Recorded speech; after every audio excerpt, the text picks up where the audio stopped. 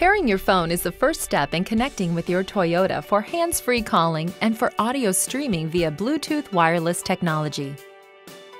In order to use Entune, your phone must be paired to the multimedia system and configured for internet. For your safety, you can only pair a phone when the vehicle is stopped. To begin, touch Setup on the faceplate. Then touch Bluetooth. Next, touch Connect Phone. Touch Add New. Begin pairing your phone. A confirmation will appear that your phone has been paired.